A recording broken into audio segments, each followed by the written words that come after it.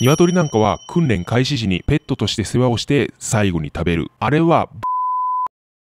どうも、S です。今日なんですが、陸上自衛隊で最も過酷と言われるレンジャー訓練というテーマでお話しします。レンジャー訓練ってテレビや YouTube で特集されているのをよく見るけど、なんかきつそう。でも何やってるのって思ってる方って多いですよね。私、陸上自衛隊で9年間勤務し、このレンジャー訓練を終了した経験があります。今回は皆さんにレンジャー訓練ってどんなことするのっていうのをお伝えしていきたいと思います。このチャンネルは自衛隊に関する動画を投稿しているので、チャンネル登録よろしくお願いします。それでは早速行ってみましょう。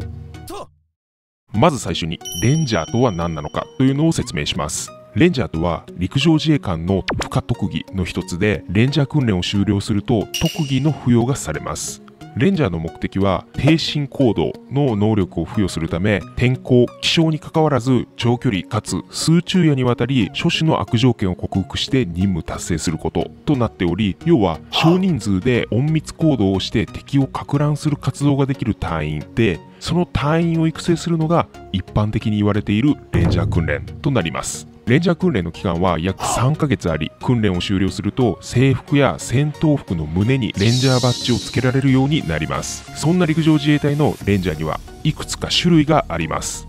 まず幹部レンジャーなんですがこちらは3等陸尉以上の幹部自衛官を対象にしたレンジャー特技課程になります。この訓練は日本で1カ所のみ。富士学校というところで行われておりレンジャーの技術を習得するのはもちろん指導法であったり海外の技術なども取り入れてレンジャーの指導者を育成する目的もあったりします。この幹部レンジャーの様子はドキュメンタリー映画にもなったりしたので気になる方はぜひチェックしてみてください。続いて空挺レンジャーなのですがこちらは第一空挺団の隊員を対象にしたレンジャー特技課程で陸曹以上の隊員が参加します。また航空自衛隊の救難員なども参加することがあり自衛隊内の屈強な人間が揃った訓練の一つなんじゃないかなと思います。続いて部隊レンジャーなのですがこちらは師団旅団普通科連隊単位で行うレンジャー集合教育です。部隊レンジャーについては陸士からでも参加でき師団内の他の部隊の隊員も参加したりします。ちなみに私はこの部隊レンジャーの出身です。部隊レンジャーは各駐屯地で特別な名前で呼んだりすることもあり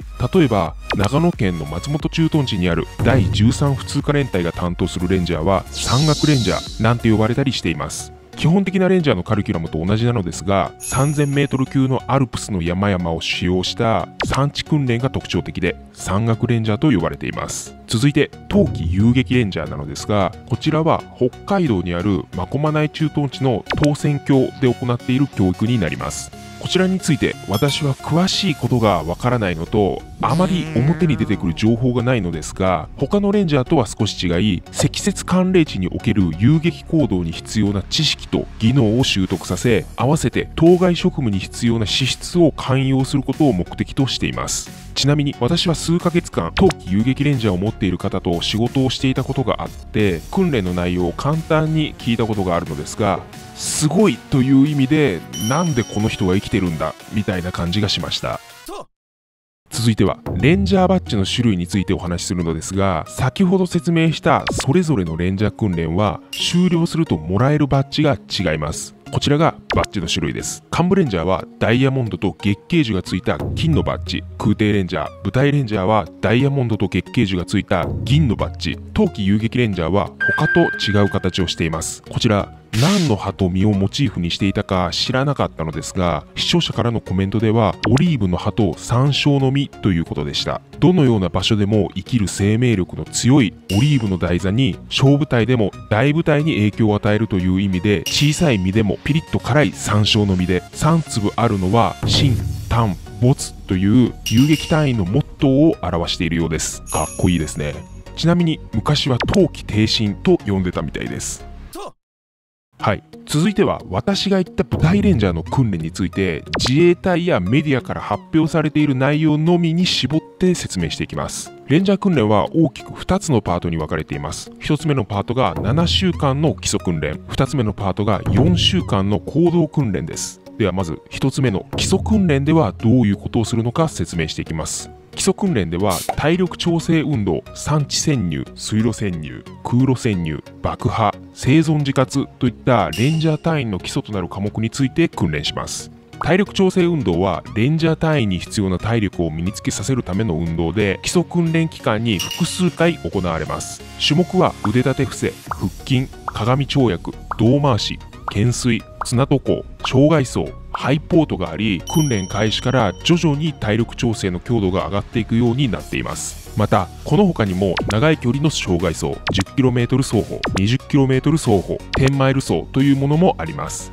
この体力調整にはそれぞれ試験が設けられていて基準の回数タイムをクリアしなければ次の行動訓練には進めず現代復帰となってしまいます。続いての産地潜入は地図やコンパスの使い方からロープや途半資材を使った潜入術を学び様々な地形を克服できるように訓練します。水路潜入についてはボートを使った潜入離脱の方法フル装備での着衣泳などを学びます。空路潜入はヘリコプターの誘導やリペリング方法ロープ構成なんかについて学びます。爆破については爆薬の種類であったり構成効果などを学び実際に演習場で本物の爆薬を使って爆破訓練をやります。最後生存自活については自衛隊好きの方なら聞き覚えのあるヘビや鶏を食べる訓練です。動物の生態やさばき方から水の確保や体の限界についても学びます。ちなみに鶏なんかは訓練開始時にペットとして世話をして最後に食べるなんて噂があるのですがあれは舞台によっては本当です。私が参加したレンジャー訓練では基礎訓練序盤で人数分の鶏が届き名前を付けて毎日世話をしていました。そしてある日。はい。ここまでが基礎訓練となり7週間かけてレンジャーで必要な知識を一通り叩き込みます。続いて行動訓練なのですがこれは基礎訓練で学んだことを使う実践形式の訓練になります。演習場や自治体所有の山を利用して潜入から拠点確保敵場偵察して爆破や襲撃伏撃任務なんかを行い離脱する訓練です。行動訓練では想定という単位で訓練が行われ想定休息想定休息というのを繰り返します。ちなみに私の時期のレンジャーは0から6想定までありました。現在の舞台レンジャーはメディアを見る限り0から9想定になっていると思うのですが訓練期間については変わってないです。想定の回数を追うごとに任務が増え潜入離脱距離も長くなりそれに合わせて山にこもる期間も延びます。ゼロ想定は時間も短く任務数も少しだけで移動距離もお散歩レベルなんですが私の時の最終6想定だと5や6日で任務数が4から5任務あり移動距離も70キロほどでした。任務の数が増えるということはそれだけ持っていく武器や資材も増えるので徐々に荷物は重くなっていきます。だいたい1人当たりの配能の重さが30キロから40キロほどでそれにプラスして個人装備品や対戦車火器なんかが追加されます。そして想定を追うごとに持っていく食料も少なくなっていき最初の頃は毎食食べることができるのですが後半になるにつれて食事の制限もきつくなってきます。当然食事の量が減るので体重は激減しますが想定と想定の間の休息期間中にお腹いっぱい食べて減った体重分を取り戻すようにしていました。また想定中は寝る時間がほとんどなく私の時の最終6想定はガチで5や6日ほぼ眠らずに終えることになりました。通常仮眠とかあるんですが任務の時間が遅れまくったせいで削られてしまいました。行動訓練の最終想定を終えるとレンジャーバッジが付与され晴れてレンジャー隊員となれます。どうでしょう？なんとなくレンジャー訓練についてイメージできたでしょうか？レンジャー隊員は陸上自衛隊全体の8%ほどと言われておりなんか特別感があるのですが普通科部隊にいるとそこまで珍しいものではないです。私のいた普通科中隊約90名のうち20名くらいはレンジャー隊員だったと思います。逆に後方支援系の職種でレンジャーを持っている人は結構レアなケースなんですが視聴者の中には輸送家で部隊レンジャー冬季遊撃レンジャーを持っているなんて方もいました。マジでエグいっす。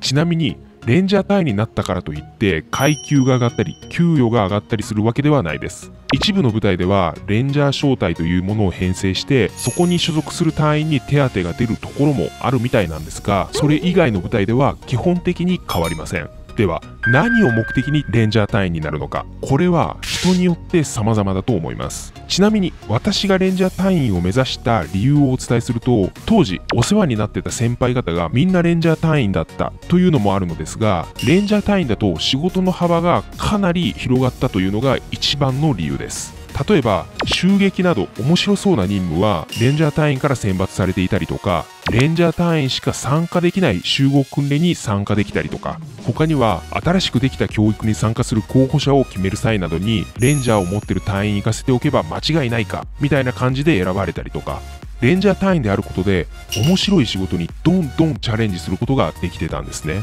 舞台や時代によってちょっと違うかもしれないんですが当時私がいた舞台だとそういう感じでした。民間企業でいう仕事の幅を広げる資格みたいなものだったと思います。あとお世話になってた先輩方と一緒に仕事したかったというのもあると思います